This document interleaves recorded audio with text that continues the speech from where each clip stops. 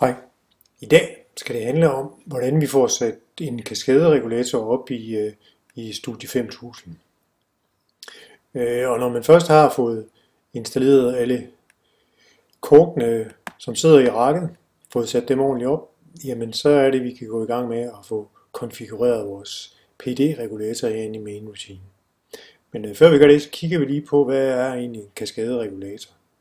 Øhm, det er altså øh, den type af, reguleringer, hvor vi har flere feedback loop, der slutter om hinanden. Øh, og her er det vist med, med to loops. Et inner loop, der består af en PD-regulator, en proces, man gerne vil regulere, og så noget feedback til regulatoren. Den yderste sløjfe giver så sæt punktet til den eneste sløjfe, og styrer så processen herude i P2. Og her er det ligesom indikeret, at øh, det er vores vandstand, vi, vi arbejder på, hvor vi vil Luk en indre sløjfe omkring øh, flowet til tanken, og den ydre sløjfe styrer så øh, niveauet i tanken. Så det, det er det her setup her, vi skal have konfigureret i Studie 5000. Så vi skal altså have sat to PD-regulatorer op, en for niveau og en for flow. Og den for niveauet giver så sætpunktet til øh, flow-sløjfen her. Så når vi har fået konfigureret vores kort, så skal vi lige sørge for, at øh, den her main task altså ikke skal, skal køre som et øh, kontinuert system. Vi skal sætte den op til at køre periodisk, og det skal vi gøre med en periodetid på, på 100 millisekunder. Og hvis vi lige glemmer det her, så, øh, så øh, kan det godt blive lidt svært at indstille regulatoren, tiderne i, i den regulator, som I nu får sat ind, så kommer det ikke til at passe. Så, så det er ret vigtigt, at den kommer til at stå til periodisk med en periodetid på 100 millisekunder. Okay. Så skal vi have sat en PD-regulator ind her. Ja, vi skal faktisk bruge to jo. Øh, og den, vi skriver bare PD, og så henter den den blok ind. Og vi kan lige så godt øh, tage den næste med det samme. Vi laver en ny rung, putter en PD-regulator ind der også.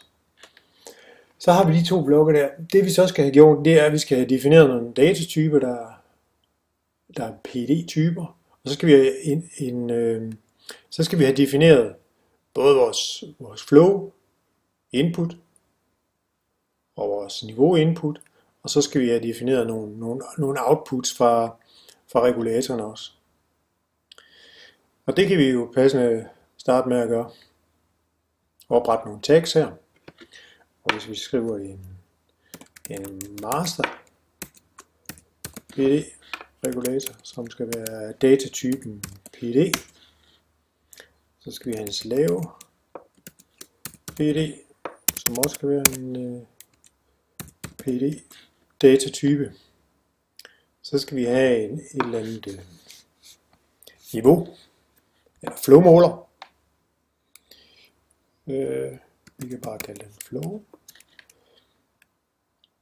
Og den sætter vi til at skal være på det analoge input kort på kanal 0, kan vi gøre. Og skal vi ned i bunden her, for at finde den. Ups, der går vi lige lidt for langt.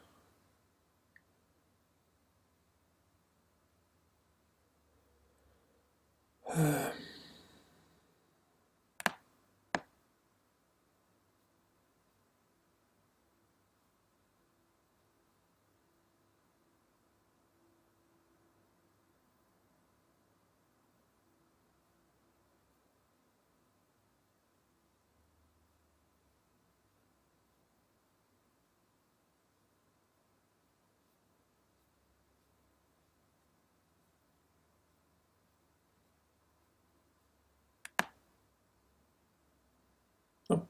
kommer jeg ned. Det ruller lidt rundt. Sådan der. Og vi skal have noget, noget niveau, som så passende kan pege på øh, kanal 1.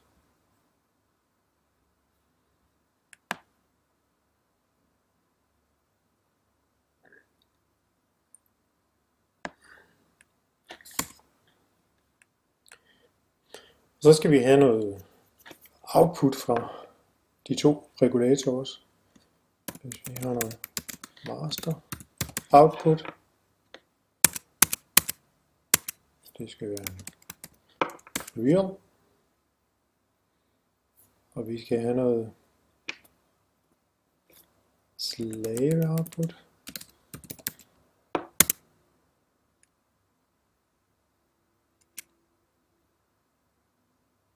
Og den er så passende pege på vores analoge output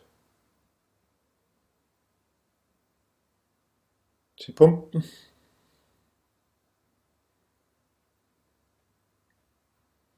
Og der kan vi bare tage kanal 0. Og det, der kommer fra masteren, jamen det skal jo ligesom fødes ind i, i slaven, så øh, det skal ikke ud på, på nogen kanal. Nu har vi forberedt de tags, vi, vi sådan set skal bruge over i vores main rutine, så kan vi gå over og få defineret den her som en master PD. Den her nede skulle være slave. Vores procesvariabel heroppe, jamen øh, for den ydre sløjfe, kan vi se her, der var det jo niveau, som vi måler her. Så procesvariablen her var den vi kan level. Trævæk kan man finde. Og smart output for den her, den sætter vi så bare til at pege på en eller anden øh, datalager, som er, er datatypen en real. Og den her, den sætter vi også bare til 0. Den skal også sættes til 0, og den skal også have 0 som sæt på. Og så kan vi lige konfigurere slaven øh, på, på samme vis. Hernede skulle det være flow. Den er også 0, og kontrolvariablen, jamen det var jo den, vi satte til at hedde slave out. Sådan der. Og vi gemmer lige en øh, uh, PD master loop. Vi sætter lige 0 ind og 0 ind der. Og så kan vi gå tilbage til den der master loop. Der skal vi lige have den til at pege på den, der nu er master for den her slave øh, PD. Okay, så langt så godt. Så skal vi ind i, i uh, selve konfigura konfigurationen af, af PD-regulatorerne. Øh, og der skal vi selvfølgelig huske at, um, og sæt loop update time til de 100 millisekunder, som vi har sat ud i selve main task. Vi skal sætte grænsen her til 100. Det er en kaskade loop, skal vi lige have vinket af her. Vi tager også lige den der no bias calculation, så vi ikke får problemer med det. Og det her, det var slaven, eller det var masteren, undskyld. Så den skal vi også lige have krydset af der. Alarmerne kan vi godt lade være, som de er. Men herinde i skaleringerne, der skal vi lige huske at, at sætte dem til øh, fra 0 til 100 på, på øh, de fire, man kan sætte herinde. Så burde det være ok. Vi skal have gjort det samme for slaven. Konfigureringen her. Vi skal have sat update time til 100 millisekunder. Vi skal have sat, sat grænsen hernede til, til 100. No bias det er kaskade, og det her det er faktisk slave. Alarmerne, lad os stå. Skaleringerne skal vi lige huske.